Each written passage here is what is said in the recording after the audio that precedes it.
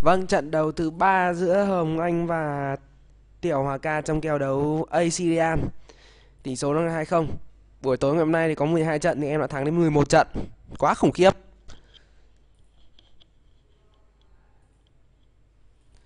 Bãi quả đầu 6 cây. Vâng, 6 cây. Kia không biết có phải một cánh rừng thông không? Vớ vẩn này 5 cây trụm nhau. Rất nghi ngờ. Vâng, trận đấu trước là một trận đấu mà cả Tiểu Hòa Ca và game thủ Hồng Anh chơi một bài cực kỳ mạo hiểm. Cả hai đều đánh vâng gần như là đánh lô khi mà bo nhà rất rộng và đều hướng lên một bên thì hướng lên góc 3 giờ còn bên hướng góc 12 giờ.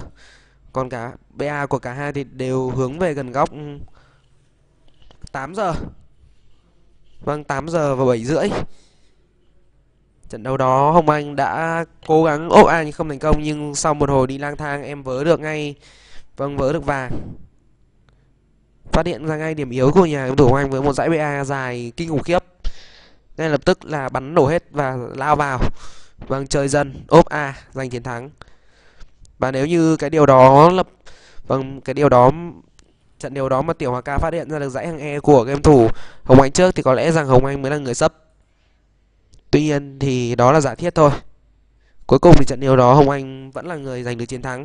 Tỷ số đó là 2-0.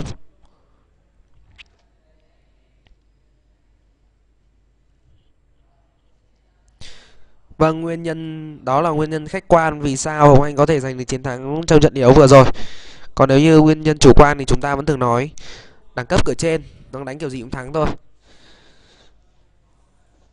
16 trên 20, thiết kế chiếc bet đầu tiên phút thứ tư, xả thịt hai con hươu ở gần chiếc bet đó, cắt thêm nông dân đi dò, khi mà đồ ăn là chưa đủ. Ngày hôm nay thì mạng là khá nuột. Vâng, bởi vì đơn giản thôi. Hôm nay là một ngày không hề mưa, cũng không hề nắng. Thời tiết cực đẹp. Và tình trạng mạng uh, tất nhiên là cũng sẽ được đảm bảo hơn. Thời tiết cũng là một nguyên nhân gây nên tình trạng mạng giật lag.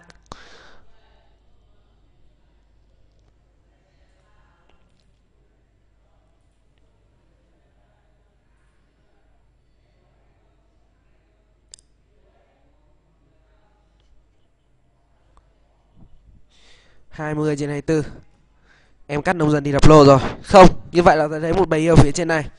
Chưa đập lô vâng bình tĩnh. Tuổi em còn quá nhỏ để có thể chơi những bài lô đầy mạo hiểm.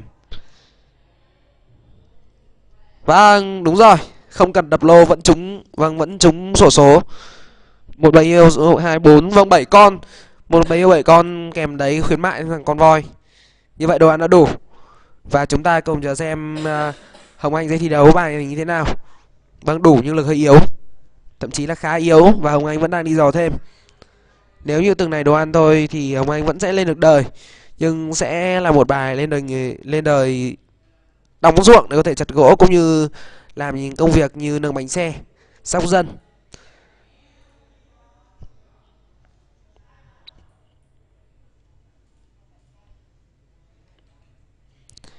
Và hồng anh đang quyết định cố gắng đưa thêm một con hiêu nữa về với nhà chính của mình.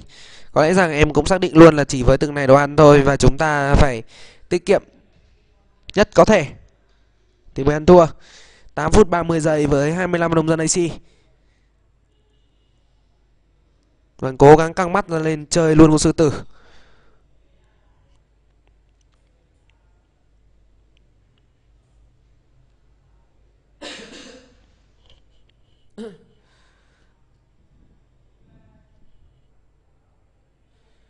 Vâng, đúng là hết nạc cũng vạc đến xương thôi. Bây giờ thì không còn hiêu voi gì cả mà đến sư tử cũng chén. Thậm chí có con đại bàng mà phi trời tôi nghĩ rằng Hồng Anh cũng sẽ phi luôn. Vâng, anh hùng xạ điêu. Rất tiếc là trong đế chế này thì đại bàng lại không ăn được thịt chứ nếu không thì có lẽ là không ít con đại bàng đã chết bởi các cao thủ Việt Nam chúng ta. 25 trên 28 đóng một chiếc BS để ăn hiêu. Vâng, với bầy hiêu này thì em sẽ có lực khi lên đời. Nhưng những nông dân sau khi ăn hiêu thì bắt buộc là phải chặt gỗ ở đấy luôn. Vâng chặt gỗ tại ra nếu như kéo nó về thì sẽ mất rất nhiều thời gian. Và việc uh, làm ăn của nó không hiệu quả một đôi voi dành cho Hồng Anh ở trong vâng một khu vực mà không ai có thể ngờ tới. Bây giờ thì thế nào? Vâng đồ ăn này quá thừa nhưng vấn đề là Hồng Anh không cần đến hai con voi nữa. Tôi nghĩ rằng đến thời điểm này hai con voi này biến mất sẽ là hợp lý hơn. Vâng hai con voi này biến mất đi thì chúng ta lại có thêm một chiếc vé đẹp nhưng nó lại xuất hiện lù lù ở đây. Thì lại phải câu nó về để vâng để có rộng chỗ để mà đóng đóng ép và ăn gỗ. Quá đen cho Hồng Anh. 11 phút 35 giây. Như vậy là em quyết định vẫn cứ xả thịt con voi này.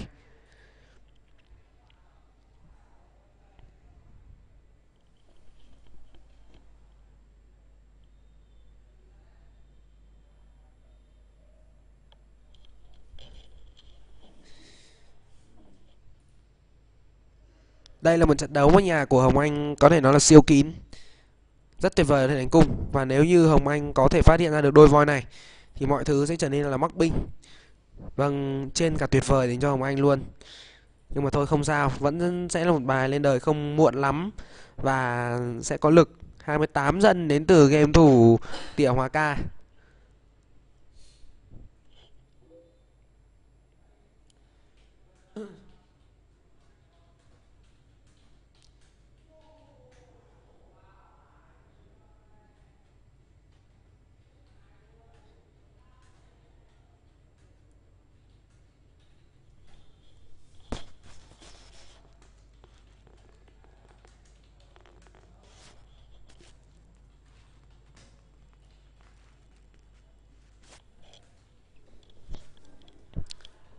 Vâng, 50A Vẫn là một bài đánh sở trường quen thuộc.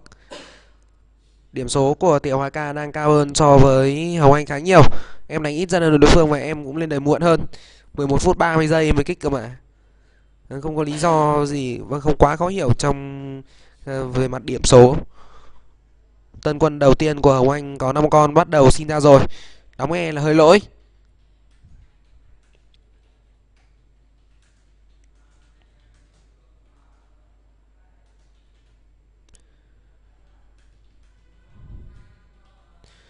Vâng, điểm số của game thủ Tiểu Hòa Ca liên tục tăng lên. Có lẽ là anh ấy đã đẩy đi tân quân đầu tiên.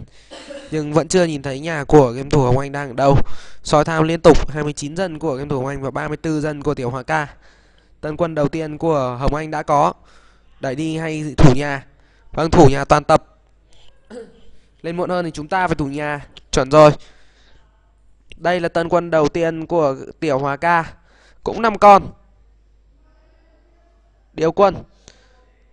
Vâng, số lượng máu của con công L vừa bị bắn trong tình huống vừa rồi là bằng nhau, mất là bằng pheo nhau. Nhưng uh, Hồng Anh đang có những gây ra là những sát thương của những con cung r con cung r khác. Bây giờ thì cả hai đều điều quân để tránh việc cung r mất quá nhiều máu. Vâng, ăn gần được một cung r của Tiểu Hòa Ca rồi. Trong những tình huống rồi thì Hồng Anh là người điều quân tốt hơn và gây ra được nhiều sát thương lên những con đú nhưng một cung đờ của game thủ tiểu hoặc tiểu game thủ uh, hồng anh bất ngờ nằm xuống.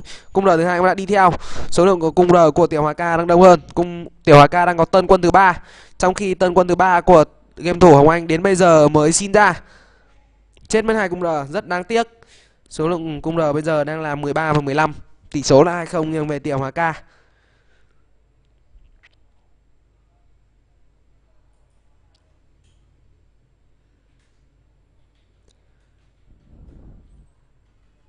Tham Lai đang bị đè một chút xíu khi mà Tiểu Hòa Ca đang có đông quân. Vâng, đông quân cũng như là đông dân hơn. Tân quân tiếp theo của game thủ Hồng Anh chỉ có bốn con. Đen cái BSD có thể điều quân tốt hơn. Không hiểu sao. Vâng, rất trâu quân. Khá là... Và anh nghĩ rằng quân cũng là đẹp hơn so với Hồng Anh rất nhiều. Tiếp tục trên những cung L nữa. Phải chăng đây mới là đẳng cấp thật sự của game thủ Tiểu Hòa Ca? Từ nãy giờ thì tôi mới chỉ nhìn thấy cung lờ của Hồng Anh nằm xuống thôi. Còn Tiểu Hòa Ca vẫn chưa chết một cung lờ nào cả. Vâng, tỷ số sẽ là 21 Tỷ số sẽ là 2-1 dành cho Tiểu Hòa Ca của Trung Quốc. Xin chúc mừng anh. Rất khó cửa. Khi mà chết quá nhiều cung lờ như thế này rồi. Và chúng ta cùng chờ đợi để đến với trận thi đấu tiếp theo thôi. Sau một ít phút chạy cối của game thủ Hồng Anh.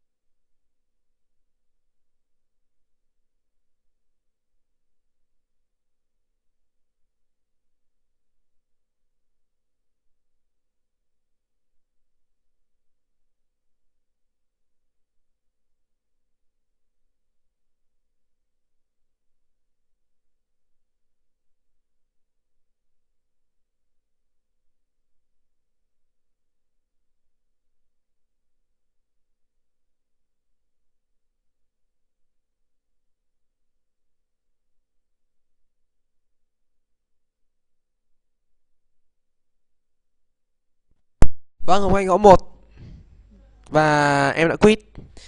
Bình thường từ nãy giờ nếu tôi nhớ không nhầm thì trận nào Hồng Anh thắng Hồng Anh anh ấy mới gõ một.